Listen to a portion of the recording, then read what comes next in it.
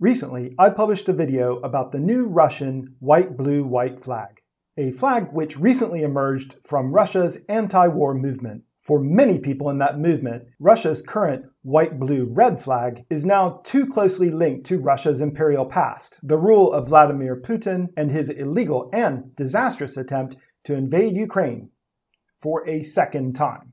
These same feelings are now driving other proposed changes to other flags in Russia.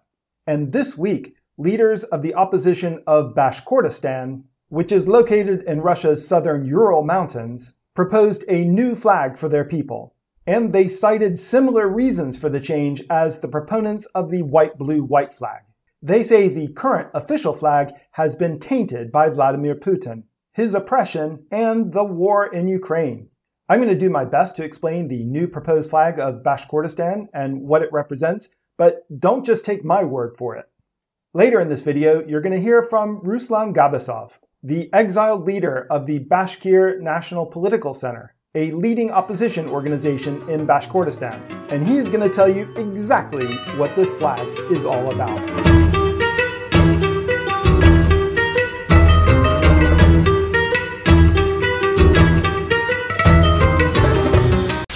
Hi everyone, I'm Fredo Rockwell, and if you're like I was until a few days ago, you probably don't know very much at all about Bashkortostan.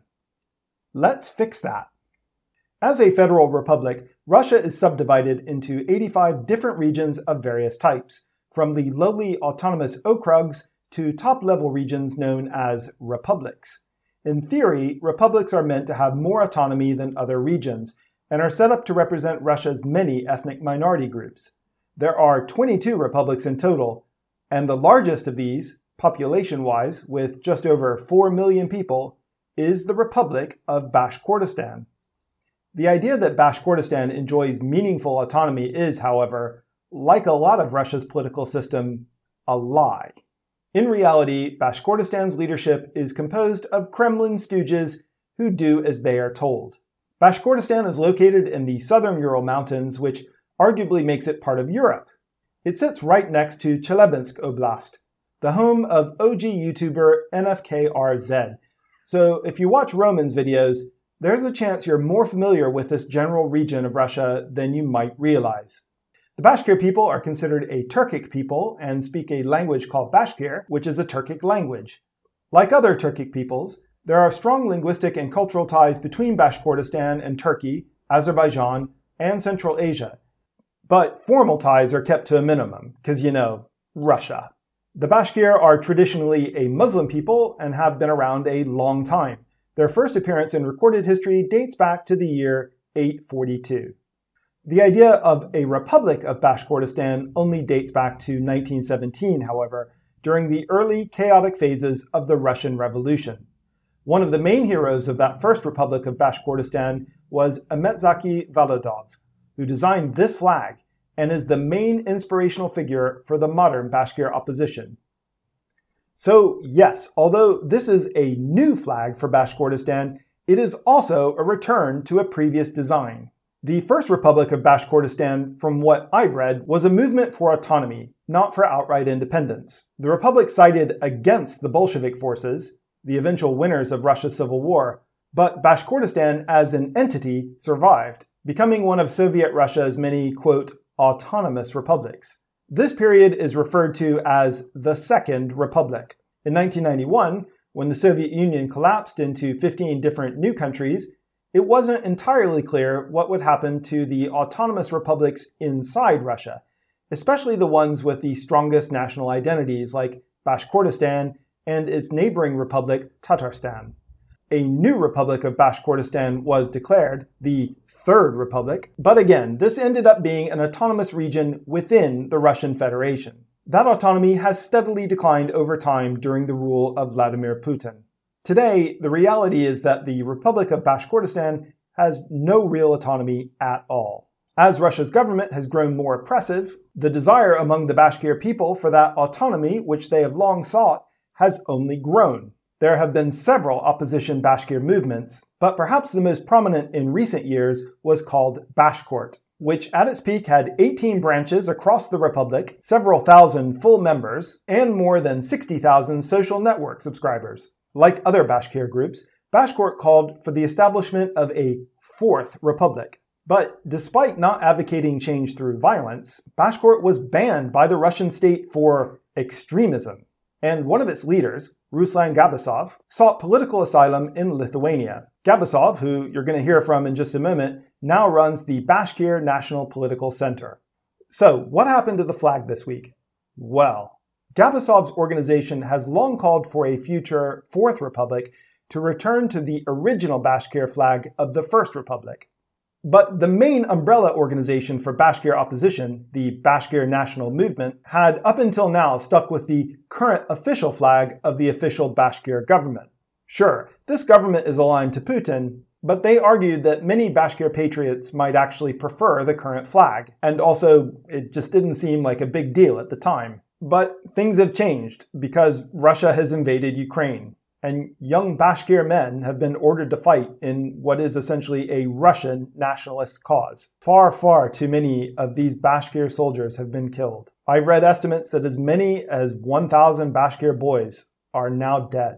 And the government of Bashkortostan, which remains in lockstep with Kremlin policy, has been staging pro war rallies using the current official flag and getting women and children to pose with the current flag in Z or Z-like formations. And so, for many Bashkir people, the flag of the current government has been discredited by its association with Putin and his war in Ukraine, in exactly the same way that the white, blue, red flag has been discredited amongst so many Russian anti war activists. On Monday, the 21st of March, the Bashkir National Movement announced that from now on, Bashkir patriots should use the blue, green, white flag of Validov's Bashkortostan as their true national and republican flag. So let's hear from Ruslan Gabbasov now. Ruslan was kind enough to speak to me a few days ago. He doesn't speak English, so you're going to hear both of us speaking Russian with English subtitles.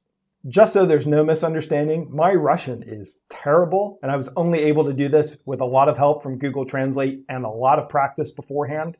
Anyway, here we go. Привет, Ruslan. Добро пожаловать на видео. Здравствуйте. My widzieli nowy flag Bashkortostana, каким был старый флаг. Почему башкирскому народу важно сменить флаг именно сейчас? Дело в том, что развязанная война Путина с Украиной полностью дискредитировала сперва российский флаг – и сегодня уже э, российская вся общественность за рубежом отказывается от российского флага, потому что он считается флагом агрессии, э, флагом оккупации, полностью себя дискредитировал. И то же самое, так как Россия на сегодняшний день, скажем так, является федерацией, но на самом деле она не является федерацией, она унитарная страна. Но так как в ней есть республики, я считаю, что они полностью колониальные на сегодняшний день. Э, ничего не решают. У них на сегодняшний день до сих пор сохранились свои флаги, но э, ставленники Путина, которые руководят этими республиками, они эти флаги э, используют точно так же э, в поддержку Путина, в поддержку агрессии э, Путина, в поддержку войны с Украиной. Под этим флагом отправляют наших ребят из Башкортостана э, воевать с украинским народом, убивать мирных людей э, в Украине. Наши парни гибнут там.